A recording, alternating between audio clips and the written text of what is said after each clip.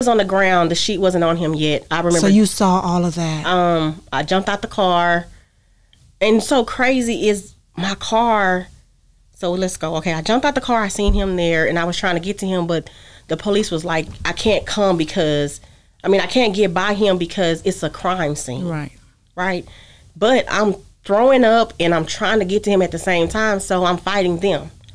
And I just remember they the coroner finally came, they put the sheet on him, and they took him to the funeral home. And then I went to the funeral home, and as I walked in there, there was a bathroom, like like a school bathroom, mm-hmm. right?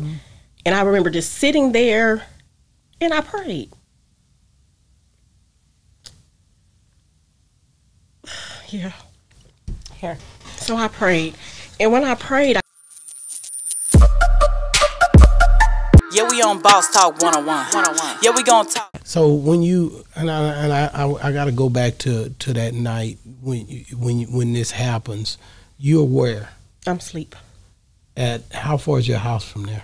It was 26 miles, I think it was. Twenty six miles. So you are at home sleep. Who calls you? How do you get informed that Lil Snupe has been shot or murdered, or how was it told to you? Uh, there was a neighbor. Her daughter had was in the town that it happened in, and she had a, um, what do you call it? Scanner. Okay. And I think the vehicle she had seen Snupe in the vehicle earlier, and that scanner mentioned that vehicle. Her mom came and was beating on the door, and I'm What thinking time was this? it was at four. In the morning. in the morning. I thought that it was Snupe because of the way she beat. That's the way he beats. Yeah. So I didn't think nothing but like, let me just unlock this door for him at this Okay. point, right? And um, I could just hear. I say, "Who is it?" And she was like, "You gotta come quick. It's a bad call. Um, they done killed your baby." Oh, she told you. What did you just broke down? I opened the door. She Probably disbelief. Yeah, I opened the door, but you know, you you know how when you hear something, you can't comprehend it. Yeah. So I didn't have no clothes on, and I'm just like, I need to put some clothes on. And my clothes are in my face, but I couldn't register there was clothes in my face. So it took me a while to grab that together. And I'm like, okay, now I need to drive here, right?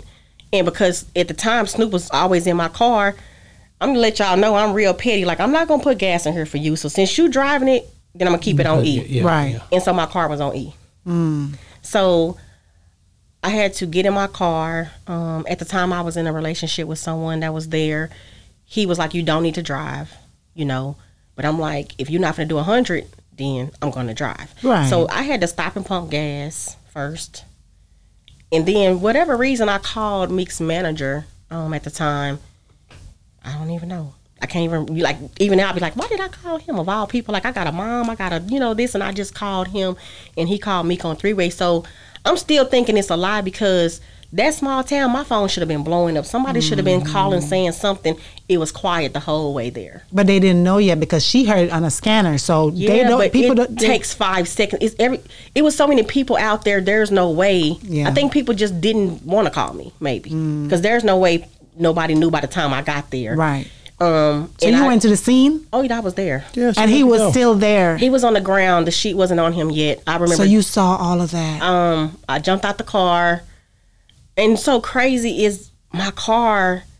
So let's go. Okay, I jumped out the car. I seen him there, and I was trying to get to him, but the police was like, "I can't come because, I mean, I can't get by him because it's a crime scene." right. right? But I'm throwing up and I'm trying to get to him at the same time, so I'm fighting them. And I just remember they the coroner finally came, they put the sheet on him, and they took him to the funeral home. And then I went to the funeral home, and as I walked in there, there was a bathroom, like like a school bathroom, right? And I remember just sitting there, and I prayed. yeah. Here. So I prayed. And when I prayed, I got up. And I just remember um, there was a lady, well, you know, the funeral home person, the lady, she was there. And so she was holding on to me and she said, um, you know, before you go over here, and she was talking, but I could see Snupe a little bit in the body bag, kind of in my vision as she's talking to me. And she was saying how she had a son and blah, blah. And I said, ma'am, I said, is your son dead? She said, no. I said, well, get your hands off me. Mm-hmm. I can imagine that. Yeah, we on Boss Talk 101. 101. Yeah, we gonna talk.